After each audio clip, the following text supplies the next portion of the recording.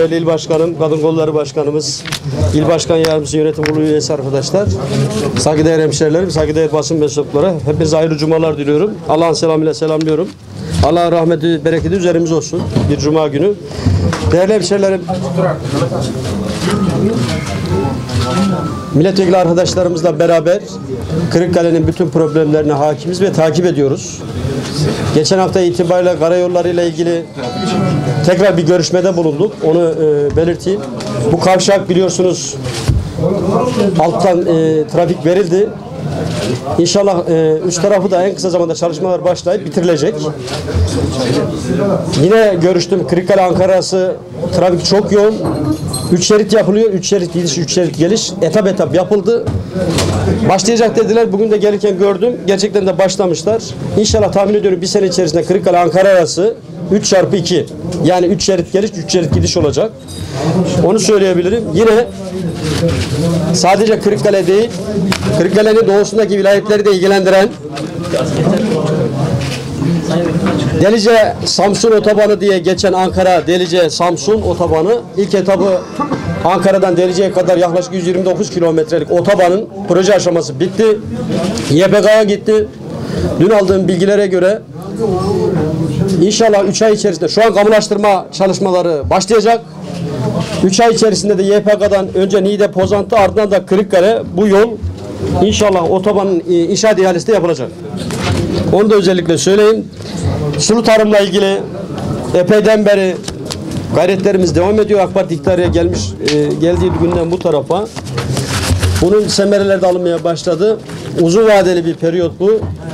Kırıkkale Konya Ovası projesi kapsamına da girdi biliyorsunuz. Bu manada da destekler gelecek buradan. E, şu an itibariyle Hamzalı sulama sistemleri devreye girmeye başladı. İnşallah e, sade Kırıkkale değil, Kalecik, Ankara, aynı zamanda Çankırı ve Kırıkkale bağlı köyler inşallah e, bu sene itibariyle orada sulu tarımdan faydalanacak. Yine Ham- Sulakyurt'un Hamzalı e, sulama sistemleri bu ayrı. Bir de Sulakyurt Barajı ve Cerit Mümünlü Barajı. Bunların sulama ihaleleri yapıldı. İnşallah en kısa zamanda da oradaki çiftçilerimiz e, buna imkana kavuşacak. Aynı zamanda Kızılırmak ilçesinden Hüseyinli, Çankırı'nın ilçesinden o sınırlardan Kızılırmak'tan motor pomp sistemiyle yaklaşık 60 kilometreye 3 etaplık e, sistemle basılacak su. Onun projesi de onaylandı. E, çalışmalar hızlı bir şekilde devam ediyor. 170 bin dönüm, 110 bin dönümü Kırıkkale arazisi, Geri kalan 70 bin dönümde Çorum ve e, Çankırı arazisini sulayacak büyük bir proje. Tabi burada çiftçilerimizde ve köylülerimizde destek bekliyoruz. Buradan özellikle söylüyorum bütün muhtarlarımıza da köylerde veya da herhangi bir yerde imar alanı dışarısında olan gölet yapmaya, baraj yapmaya imkanı elverişli sularımız, kaynaklarımız varsa bunu devamlı muhtarlar toplantısında da dile getiriyor. Sizin marifetinizle dile getirelim. Veysel Sayın Bakanımız Kırıkkale'yi çok seviyor. Dedi ki Kırıkkale'de ne kadar debisi ve rejimi gölet yapmaya, baraj yapmaya yeterli suyumuz varsa oraları değerlendireceğiz.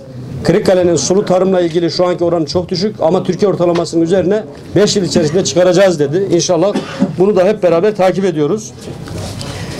Arkadaşlar aynı zamanda geçen hafta 15 gün önce de burada söyledim yine bir halk günü toplantısında SSK Hastanesi'nin olduğu yerdeki binalar yıkılıyor. Depreme dayanıklı değildi. Oranın ihalesi yapıldı. İhale süreci devam ediyor.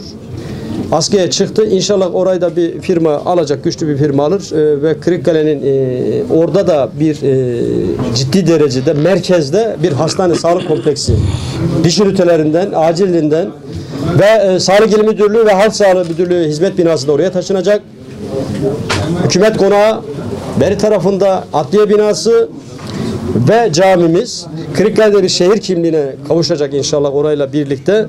Ee, belediye başkanımızın da makine kimyayla birlikte beraber takip ettiğimiz o protokol çerçevesindeki Millet Caddesi'ndeki, Millet Bulvarı'ndaki arazilerinde çalışmaları e, hemen hemen son aşamaya geldi. İnşaat ihalesine çıkacak bildiğim kadarıyla. İhaleye de çıkmış. Başladı yapılıyor. Orayla da birlikte değerlendirdiğimizde Kırıkkale gerçekten e, güzel bir şehir olma yolunda ilerlemeye devam edecek. Arkadaşlar SKM'nin planladığı çerçevede Sayın Başbakanımız Kırıkkale'ye 8 Nisan'da önce Yozgat sonra Kırıkkale gözüküyor programı.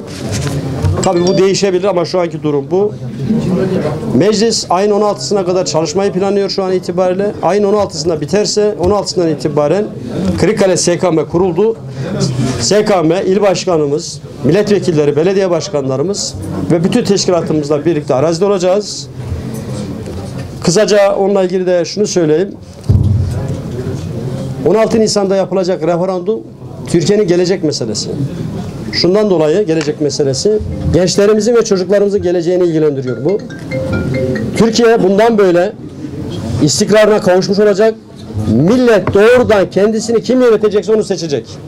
Aracı vesayet kurumları devreden çıkıyor. Efendim ben oyumu verdim ama kim memleketi yönetecek burada belli olacak. Aynı belediye başkanlığı gibi. Hiçbir belediye başkanı seçimden sonra koalisyon gördük mü? Orada bir anlaşma durumu, bir mutabakat, bir e, atama var mı? Vatandaş gidiyor belediye başkanı tayin ediyor, belediye başkanı seçiyor. Aynı şekilde Cumhurbaşkanı da vatandaş gidecek doğrudan seçecek. Dolayısıyla örnek vermek istiyorum ben. 90'lı ve 2000'li yıllarda kaybedilen o zamanı bir hatırlayın. Refah Yol hükümeti var. Kendi aralarında merhum Allah rahmet eylesin bu arada hocamızı da anıyorum. Necmettin Erbakan hükümet kurdu. İki sene sonra belli bir müddet geçtikten sonra Çillere devredecek. Çillere devretme aşaması başladığında Cumhurbaşkanı Demirel yetki gitti Yalımerez'e verdi. Hatırlar mısınız? Peki millet oyunu verirken Yalımerez var mıydı? Başbakan adayı mıydı? Böyle bir şey var mıydı?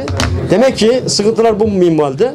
50-60 arası Menderes dönemi, Rahmetli Özal dönemi ve AK Parti dönemi. 7 Haziran Fetret dönemi onu ayırıyorum. Hep siyasi istikrar var. Siyasi istikrarın olduğu yerde de ekonomik istikrar var.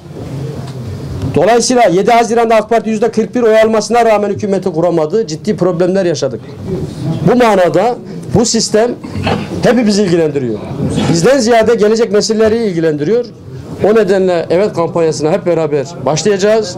Kırıkkale'de de inşallah Türkiye'de rekor kuracak iller arasında olacak diye umut ediyorum ben. Bu duygular içerisinde hepinizin cumarısını tebrik ediyorum. Arkadaşlarımızın tabii ki katkısı olacaktır. Hepiniz tekrar saygıyla selamlıyorum.